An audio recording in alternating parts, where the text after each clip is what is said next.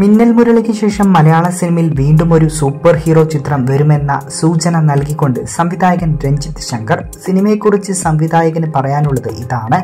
മുഴുനീള super hero ചിത്രമല്ല ഇതെന്ന് cinema തുടങ്ങും മുമ്പേ സംവിധായകൻ പറഞ്ഞു കഴിഞ്ഞു. സൂപ്പർ ഹീറോ എന്ന് പറയുമ്പോൾ ഒരു മുഴുനീള സൂപ്പർ ഹീറോ ചിത്രമല്ല അങ്ങനെ ഒരു കൺവെൻഷണൽ സൂപ്പർ ഹീറോ അല്ല ഉദ്ദേശിക്കുന്നത്.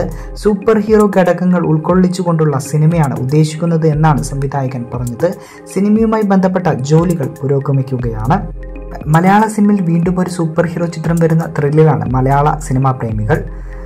എന്നാൽ മിന്നൽ മുരളിയിലെ ടോവിനോ കഥാപാത്രത്തിനു ശേഷം ആരാകും മലയാള സിനിമയിലെ അടുത്ത സൂപ്പർ ഹീറോ കഥാപാത്രത്തെ അവതരിപ്പിക്കുക എന്നത് അറിയുവാൻ ആരാധകരും ആകാംക്ഷയിലാണ്.